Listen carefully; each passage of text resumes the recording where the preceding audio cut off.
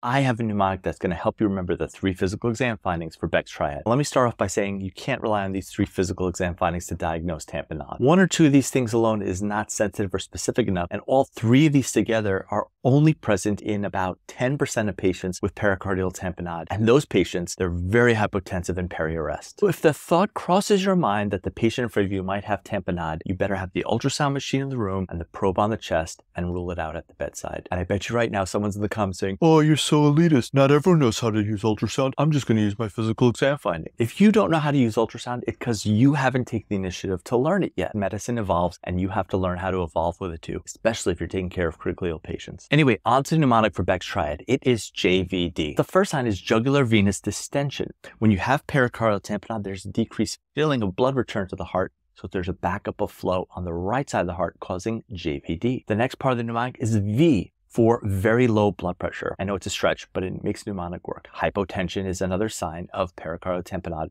part of Beck's triad. And the D is for distant or muffled heart sound. When you have a heart that's surrounded by fluid, it insulates sound from getting out to your stethoscope. And that's the reason why you have muffled heart sounds in tamponade. Remember that mnemonic for Beck's triad, JVD, jugular venous distension, very low blood pressure, and distant heart sounds. Although the three physical exam findings of pericardial tamponade can be difficult to remember,